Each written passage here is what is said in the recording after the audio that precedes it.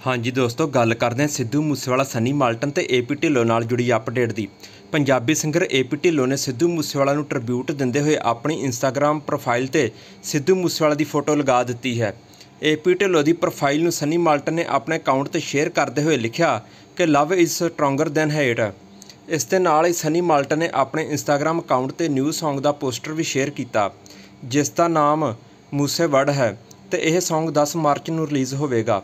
Post share ਕਰਦੇ ਹੋਏ Malton ਨੇ ਲਿਖਿਆ ਕਿ ਇਹ ਮੂਸੇਵਰਡ ਹੈ ਤੇ ਅਸੀਂ ਇਸ ਵਿੱਚ ਰਹਿ ਰਹੇ ਹਾਂ। ਤੇ ਦੋਸਤੋ, ਪੋਸਟਰ ਤੋਂ ਤਾਂ ਇਹੀ ਲੱਗਦਾ ਹੈ ਕਿ ਇਸ ਵਿੱਚ ਸਿੱਧੂ ਮੂਸੇਵਾਲਾ ਬਾਰੇ ਕਾਫੀ ਗੱਲਾਂ ਬਾਤਾਂ ਸ਼ੇਅਰ ਕੀਤੀਆਂ ਹੋਣਗੀਆਂ। ਬਾਕੀ ਦੋਸਤੋ, ਤੁਹਾਨੂੰ ਇਸ ਸੌਂਗ ਦੀ ਕਿੰਨੀ ਕੁ ਵੇਟ ਹੈ ਕਮੈਂਟ ਕਰਕੇ ਜਰੂਰ ਦੱਸਿਓ ਤੇ ਹੋਰ ਅਪਡੇਟ ਲਈ ਚੈਨਲ ਜਰੂਰ ਸਬਸਕ੍ਰਾਈਬ ਕਰੋ। ਧੰਨਵਾਦ।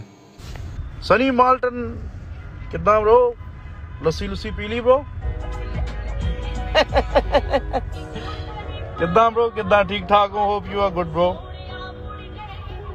ਭਰਾ ਹੈ ਆਪਣਾ। Never fold never back down of course bro never back down ਕਿਵੇਂ ਆ, ਸੋਹਣੇ?